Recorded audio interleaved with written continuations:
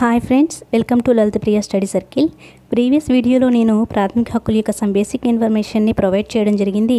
ఈ వీడియోలో నేను ప్రాథమిక హక్కుల యొక్క లక్షణాల గురించి చెప్పడం చెప్పాలనుకుంటున్నాను. ప్రతి పాయింట్ మనం చూద్దాం. ప్రాథమిక హక్కుల యొక్క లక్షణాలు. ఫస్ట్ వన్ వచ్చి సార్వత్రికమైనవి కావు అంటే నాట్ యూనివర్సల్ అంటే ప్రజలందరికీ కూడా ఒకే రకంగా వర్తించవు. ఒక్కో వర్గం వారికి ఒక్కోలా వర్తిస్తాయి. ఇక్కడ మనం విదేశీయులు ఇండియన్స్ ఇద్దరు చూసుకుంటే కనుక కొన్ని హక్కులు ఇండియన్స్కి మాత్రమే వర్తిస్తాయి.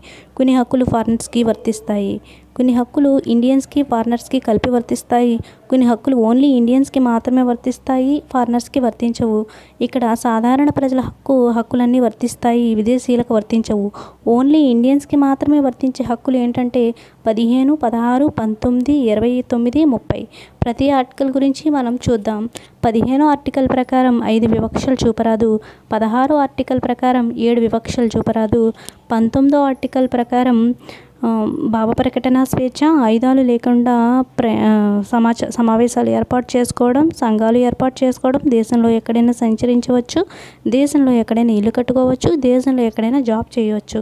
ఇరవై తొమ్మిది ముప్పై ఆర్టికల్స్ విద్యా సాంస్కృతిక హక్కులు ఉన్నాయి. ఇవి మైనారిటీల కోసం ఏర్పాటు చేసిన హక్కులు. సో ఇక్కడ మనకి ఏం చెప్పబడుతుందంటే ఓన్లీ విదేశీయులకు మాత్రమే వర్తించవు. ఇవి ఓన్లీ ఇండియన్స్కి మాత్రమే వర్తిస్తాయి. విదేశీయులకు వర్తించవు అని చెప్పడం జరుగుతుంది. కొన్ని ప్రాథమిక హక్కులు అందరికీ అంటే విదేశీయులతో కలిపి వర్తిస్తాయి. ఆ ఆర్టికల్స్ ఏంటంటే పద్నాలుగు ఇరవై ఇరవై ఒకటి ఇరవై ఐదు ఇరవై ఏడు ఇరవై ఎనిమిది ప్రతి ఆర్టికల్ గురించి మనం చూద్దాం.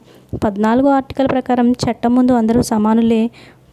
ఇరవై ఆర్టికల్ ప్రకారం నేరం శిక్ష ఇరవై ఒకటో ఆర్టికల్ ప్రకారం జీవించే హక్కు ఇరవై ఐదో ఆర్టికల్ ప్రకారం అంతరాత్మ ప్రబోధం మేరకు నచ్చిన మతాన్ని స్వీకరించవచ్చు ఇరవై ఏడో ఆర్టికల్ ప్రకారం మతం ఆధారంగా ఎలాంటి పనులు విధించరాదు ఇరవై ఎనిమిదో ఆర్టికల్ ప్రకారం ప్రభుత్వ విద్యా సంస్థల్లో ప్రభుత్వం నుండి ఆర్థిక సహాయం పొందుతున్న విద్యా సంస్థల్లో మతపరమైన బోధనలు చేయరాదు అని చెప్పడం జరుగుతుంది.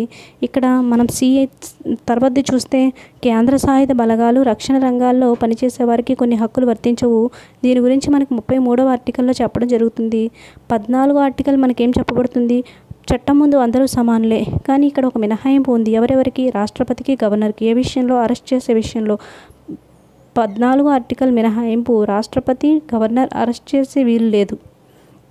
పదిహేను నాలుగు ప్రకారం బ్యాక్వర్డ్ క్లాసెస్కి రిజర్వేషన్స్. పదహారు నాలుగు ప్రకారం ఎస్సీ ఎస్టీ వాళ్ళకి రిజర్వేషన్స్. పదిహేను నాలుగు ప్రకారం బ్యాక్వర్డ్ క్లాసెస్కి రిజర్వేషన్స్ పదహారు నాలుగు ప్రకారం ఎస్సీ ఎస్టీ వాళ్ళకి రిజర్వేషన్స్ ఈ పర్టికులర్ పాయింట్స్ అన్ని బట్టి మనకి ఏం తెలుస్తుందంటే సార్వత్రికమైనవి కావు. అంటే ఒక్కొక్కరికి ఒక్కో రకంగా వర్తిస్తాయి. పర్టికులర్గా వీళ్ళకి వర్తించవు అని లేదు. పర్టికులర్కి వీళ్ళకే వర్తిస్తాయని లేదు. ఒక్కొక్కరికి ఒక్కో రకంగా వర్తిస్తాయని అన్ని ఎగ్జాంపుల్ని బట్టి మనకి తెలుస్తుంది. సెకండ్ వన్ వచ్చి ప్రాథమిక హక్కులు నిరపేక్షమైనవి కాదు. అంటే నాట్ అబ్జల్యూట్ సవరించడానికి వీలు లేనివి కావు. అంటే ప్రాథమిక హక్కులపై జాతీయ అత్యవసర పరిస్థితిలోనూ పీడీ చట్టాల ద్వారా కొన్ని సాధారణ పరిస్థితుల్లోనూ పరిమితులు విధించవచ్చు ప్రాథమిక హక్కులపై పరిమితులు విధించవచ్చు ఏ ఏ సందర్భాల్లో ప్రాథమిక హక్కులపై జాతీయ అత్యవసర పరిస్థితిలోనూ పీడీ చట్టాల ద్వారా సాధారణ పరిస్థితిలోనూ పరిమితులు విధించవచ్చు. పరిమితుల గురించి సపరేట్ వీడియో చేస్తాను.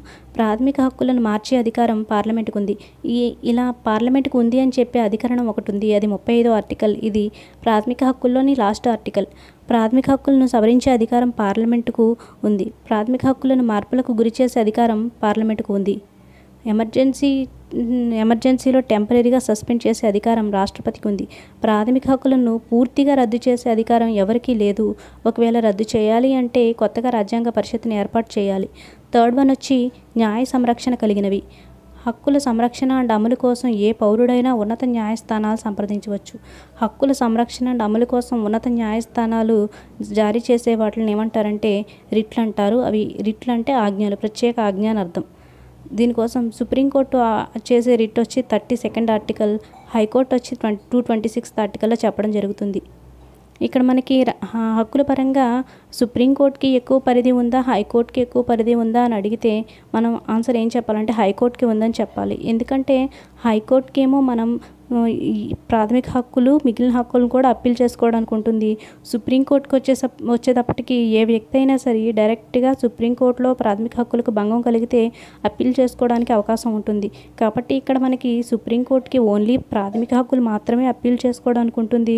హైకోర్టుకు వచ్చేసరికి ప్రాథమిక హక్కులు మిగిలిన హక్కులు రెండు హక్కుల్ని కూడా అప్పీల్ చేసుకోవడానికి ఉంటుంది.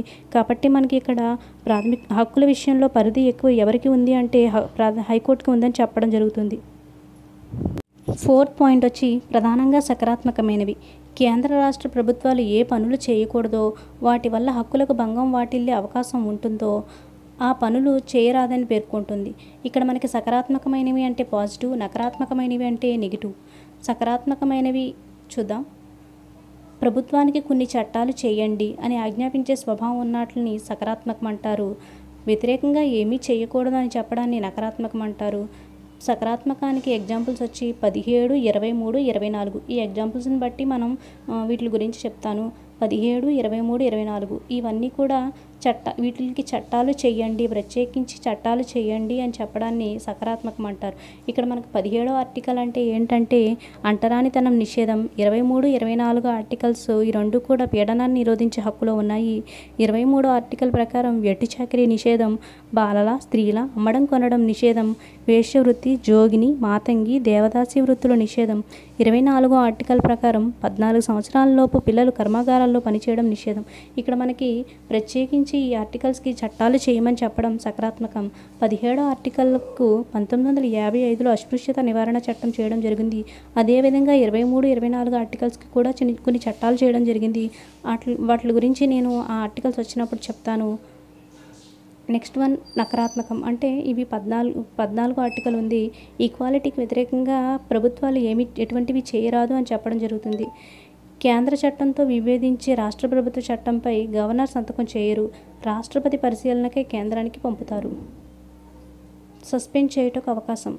ఎమర్జెన్సీ కాలంలో రాష్ట్రపతి ఇరవై ఇరవై ఒకటి ఎం- అధికారులను మినహా మిగిలిన ప్రాథమిక హక్కుల అమలును సస్పెండ్ చేయవచ్చు. ఎమర్జెన్సీ విధించినప్పుడు వెంటనే రద్దయ్యే ఆర్టికల్ పంతొమ్మిది ఏ అది భావ ప్రకటన హక్కు. సిక్స్త్ వన్ వచ్చి సాంప్రదాయకమైనవి ఆధునికమైనవి. వ్యక్తి స్వేచ్ఛ మత స్వాతంత్ర హక్కులు సాంప్రదాయమైనవి. సమానత్వం పీడనాన్ని నిరోధించే హక్కులు ఆధునికమైనవి.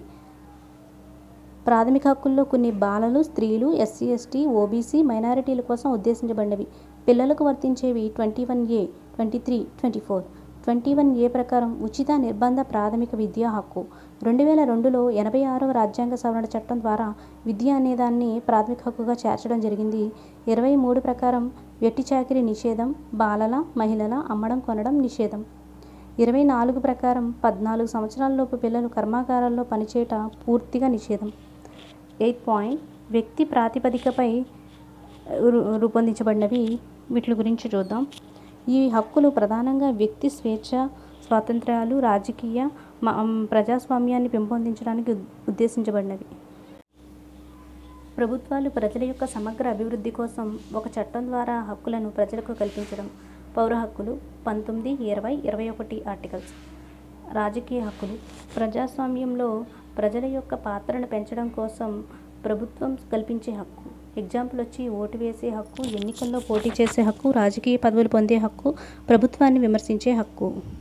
నెక్స్ట్ వన్ వచ్చి నైన్ పాయింట్ సవరించటకు అవకాశం కలిగినవి. పార్లమెంటు రెండు బై మూడవ వంతు ప్రత్యేక మెజారిటీలో హక్కును సవరించవచ్చు. హక్కు ఆస్తి హక్కును ప్రాథమిక హక్కుల జాబితా నుండి తొలగించగా ప్రాథమిక విద్యను ట్వంటీ వన్ ఏ ద్వారా హక్కుల్లో చేర్చినారు. పూర్తిగా రద్దు కావు. కొత్తగా ఏర్పాటు చేసిన రాజ్యాంగ పరిషత్ ద్వారా మాత్రమే సాధ్యం. ప్రాథమిక హక్కులన్నీ చట్టబద్ధమైన హక్కులు చట్టబద్ధమైన హక్కులన్నీ ప్రాథమిక హక్కులు కావు. ప్రాథమిక హక్కులు ప్రభుత్వాలు ఖచ్చితంగా అమలు చేయవలసి వస్తుంది. Thanks for watching. Please subscribe my channel.